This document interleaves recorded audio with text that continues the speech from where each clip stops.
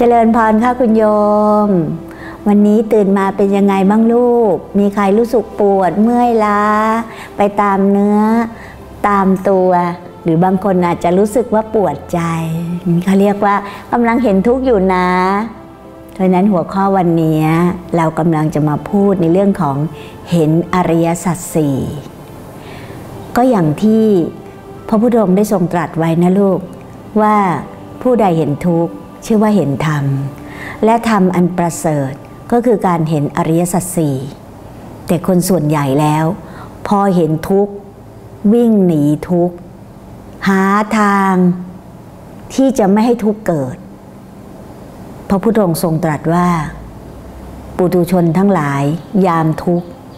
ก็จะแสวงหาการดับทุกข์ แบบคนทางโลก เช่น กินเหล้าให้เมา จะได้ลืมทุกข์ บางคนกินยานอนหลับ จะได้หายทุกข์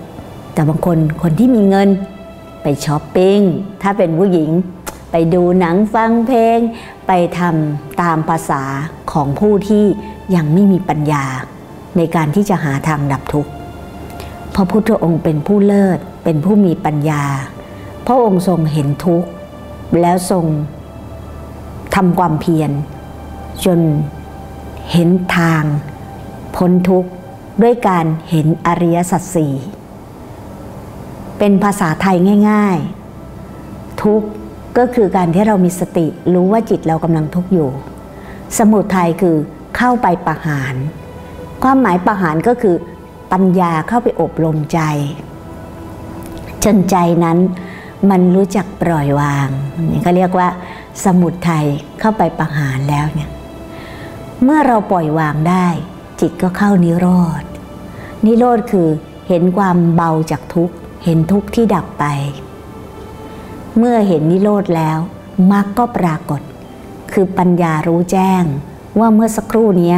เราละอะไรไปได้แล้ว แล้วอะไรที่เรายังเหลืออยู่ ที่เราจะต้องเพียรต่อไป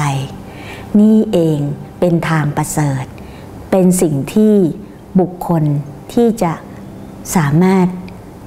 เข้าไป ละทุกข์ได้ และเข้านิโรธอยู่เนืองๆคือผู้ที่ต้อง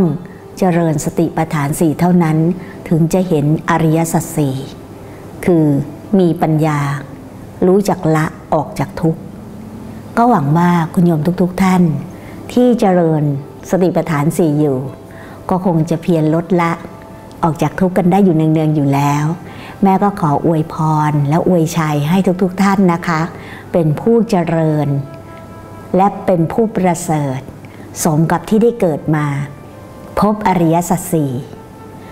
ทุกเกิดที่ไหน ดับที่นั่น ทุกอย่างสว่างสวัย เพราะใจของท่านเป็นผู้ประเสริฐ สุดท้ายนี้ขออนุโมทนาบุญกับทุกๆทท่าน ที่เราได้เกิดมาพบพระพุทธศาสนา สองได้พบอริยสัจสี่เราจะได้เข้าสู่กระแสพระนิพพาน โดยทั่วหน้ากันทุกท่านเทิน